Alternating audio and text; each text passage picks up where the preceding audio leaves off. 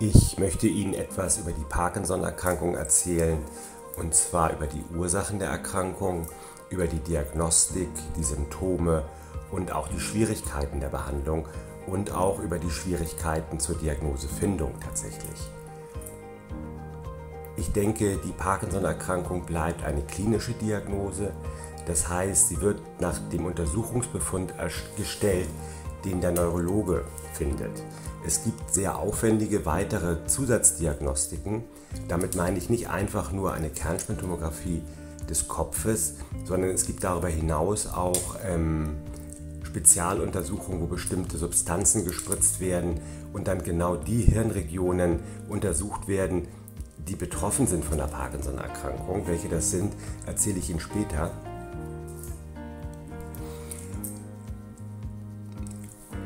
Sondern ich meine die sogenannte DAT-Scan-Untersuchung. Die kann sehr irreführend sein. Nach meiner Erfahrung gibt es dort leider auch falsch positive Befunde. Das heißt, es wird die Diagnose Parkinson gestellt, obwohl der Patient tatsächlich gar kein Parkinson hat nach klinischem Aspekt. Tatsächlich gehen aus noch unbekannten Gründen sterben Nervenzellen im sogenannten Mittelhirn des Gehirns ab, das sind die sogenannten Dopamin produzierenden Nervenzellen. Dopamin ist ein Botenstoff, der wichtig ist so für die Koordination, für die Flüssigkeit der Bewegung und überhaupt für die Steuerung der Bewegung.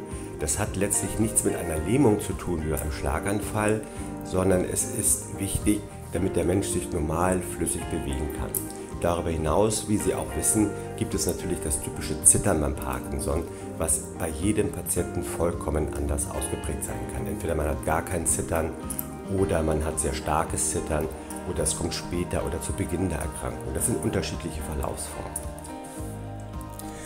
Wenn der Parkinson schon fortgeschritten wird, ist es so für den erfahrenen Neurologen fast eine Blickdiagnose. Das heißt, der Patient geht sehr langsam, kleinschrittig, vielleicht auch ein bisschen nach vorn übergebeugt. Wichtig auch das Fehlen der Armpendeln. Wenn das noch nicht so weit fortgeschritten ist, dann ist auch wichtig, wie schnell man die Hand zum Beispiel so nach hin und her drehen kann, wenn der Patient gebeten wird, dies zu tun. Das ist auch ein wichtiges Indiz.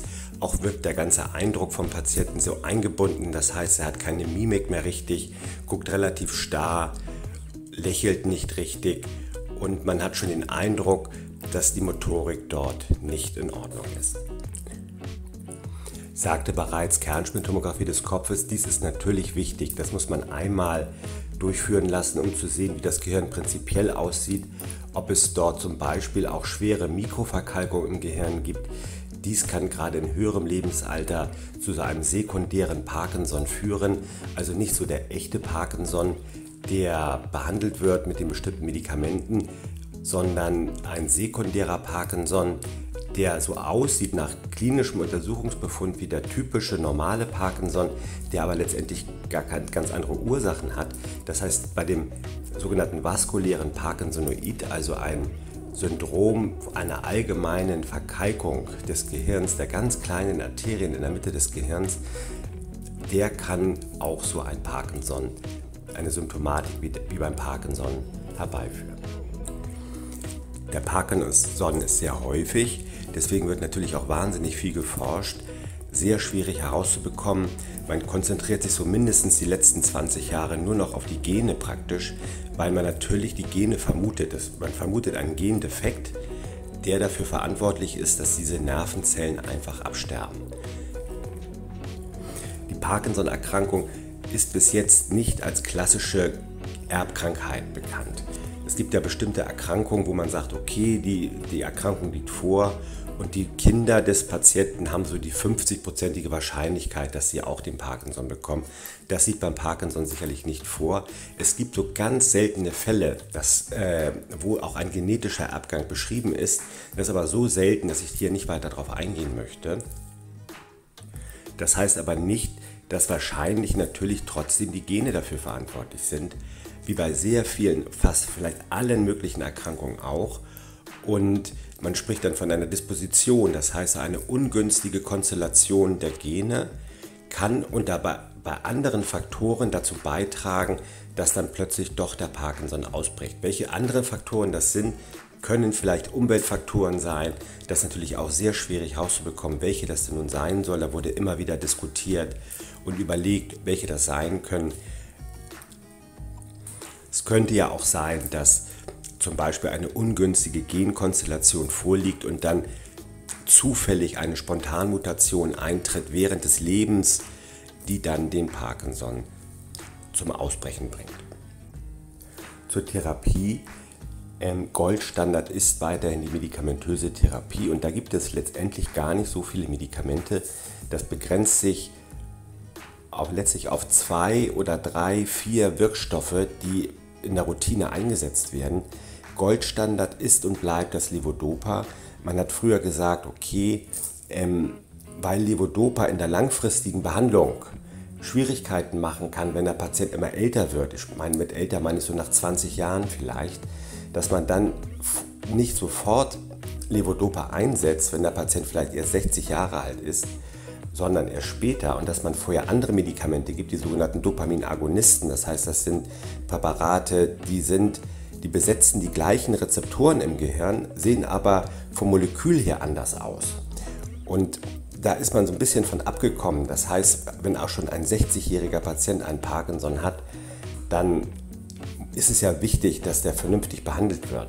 Und wenn die anderen Medikamente nicht gut wirken, spricht nach heutigem Stand auch nichts dagegen. Zum Beispiel ein Musiker, der davon abhängt, dass er Gitarre spielen kann, dass er noch eine Lebensqualität hat, äh, auch schon von vornherein Levodopa zu geben. Levodopa selbst ist eine Vorstufe des eigentlichen Dopamins. Es gibt ja sogar den Spielfilm mit Robert De Niro mit Zeit des Erwachens, der sehr gut, gut erklärt, wie man eigentlich dazu gekommen ist, dass Dopamin nun tatsächlich beim Parkinson wirkt. Das ist ja genau der Botenstoff, der uns fehlt, wenn diese Dopamin produzierenden Zellen absterben. Das heißt, es liegt nahe, genau diesen fehlenden Botenstoff in Tablettenform aufzunehmen. Das ist nicht so ganz leicht, weil es ja auch die sogenannte Bluthirnschranke gibt. Das heißt, es geht da nicht um den Blutspiegel des Medikamentes, also so viel, wie viel, wie viel Präparat im Blut angekommen ist, sondern das muss ja auch im Gehirn ankommen. Und da trickst das Gehirn so ein bisschen rum. Das kann man aber umgehen, indem man die Vorstufe gibt und das Dopamin dann erst letztlich im Gehirn produziert wird. Das Dopamin funktioniert sehr gut bei der Behandlung. Eigentlich egal bei welchem Alter, gerade bei jungen Patienten in der Anfangsphase kann das also einen ganz tollen Effekt haben. Das muss es ja auch, das ist die einzige Therapie, die wir haben. Und die Schwierigkeiten können dann aus ganz komplizierten chemischen Gründen am Ende der Behandlung, also wenn der Patient vielleicht 80, 70 Jahre alt ist, kompliziert werden, weil es dann zu unerwünschten Nebenwirkungen kommt, das ist immer so ein Balance-Spiel zwischen Überbeweglichkeit und Unterbeweglichkeit. Warum das so schwierig ist, das weiß man mittlerweile relativ genau. Es gibt auch andere Medikamente, die das dann verzögern sollen, diesen Prozess. Das sind sogenannte Wirkverstärker, die man eigentlich so nach heutigem Stand von Anfang an geben kann. Man hat die so ein bisschen reserviert für die älteren Patienten, wenn es denn schon der Fall ist, aber es spricht eigentlich nichts dagegen, die auch schon von Anfang an einzusetzen. Ich sehe persönlich auch kein Problem, den Patienten von Anfang an vernünftig einzustellen. Das heißt also nicht mit der Dosierung zu sehr zu sparen. Wichtig ist ja, dass die Lebensqualität erhalten bleibt. Wie sich der Erkrankungsverlauf entwickelt, wissen wir sowieso nicht später. Wir können, niemand kann 20 Jahre sehen, wie die Erkrankung dann aussieht. Und ich denke, es ist wichtig, dass der Patient von vornherein vernünftig behandelt wird mit einer vernünftigen Dosierung. Man kann die Präparate auch kombinieren natürlich, also Levodopa plus den, den Agonisten. Es gibt da auch ein Pflaster, was also auch so ein Agonist ist. Das ist also auch praktisch, ist natürlich letztendlich eigentlich auch nur dafür gedacht, das geht um die Resorption des Magens. Einen großen Unterschied macht das eigentlich auch nicht. Prinzipiell ist die Beweglichkeit mit dem Levodopa sehr gut zu behandeln eigentlich. Was nach klinischer Erfahrung sehr schwierig zu behandeln ist, ist, dass wenn ein sehr starker Tremor, also ein sehr starkes Zittern vorliegt, dann ist nach meiner Erfahrung das sehr schwierig zu behandeln mit dem Levodopa. Der, die Beweglichkeit insgesamt wird besser, der Tremor ist praktisch damit mit den Medikamenten nur ganz schwierig zu beeinflussen. Gerade in höherem Lebensalter können die sogenannten Agonisten der Parkinson-Therapie, also die Medikamente, die so tun, als ob sie Dopamin wären, auch Schwierigkeiten machen. Es kann zum Beispiel zu Halluzinationen kommen, zu stärkeren Nebenwirkungen wie Schwindel oder sonstigen Begleiterscheinungen. Sollte dies der Fall sein, müsste man diese Präparate dann absetzen und nur noch mit Levodopa allein weiter behandeln. Im fortgeschrittenen Stadium, also wenn der Patient in der Regel sehr viel älter ist und die Behandlung so mit Medikamenten extrem schwierig wird, das heißt also ein ständiges Wechselspiel zwischen Unterbeweglichkeit und Überbeweglichkeit besteht. Oder wenn das praktisch überhaupt nicht mehr mit Medikamenten in den Griff zu bekommen ist, gibt es noch die sogenannte Tiefenhirnstimulation, eine sehr gute Möglichkeit, die dort erfunden worden ist, den Patienten zu helfen. Natürlich auch sehr aufwendig, also eine echte Hirnoperation. Sie finden da sehr viele Videos zu, wie toll das letztendlich wirkt.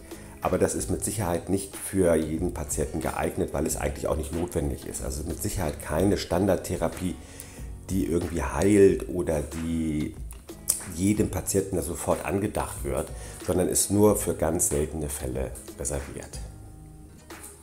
Gerade im fortgeschrittenen Stadium ist natürlich auch die Krankengymnastik eine entscheidende Säule der Therapie. So jüngere Patienten, die jetzt noch relativ gut beweglich sind, können natürlich auch profitieren, aber muss sich auch mal fragen, was der Krankentherapeut dann auch mit dem Patienten machen soll. Also mehr als das Laufen üben können die ja auch nicht machen.